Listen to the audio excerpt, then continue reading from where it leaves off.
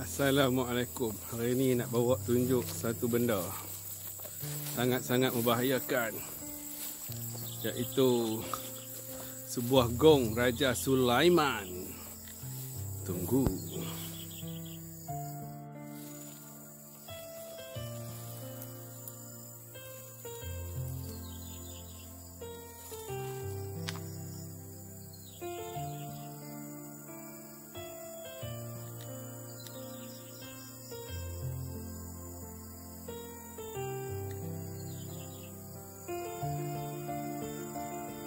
Besar tinggi lebih kurang 1 meter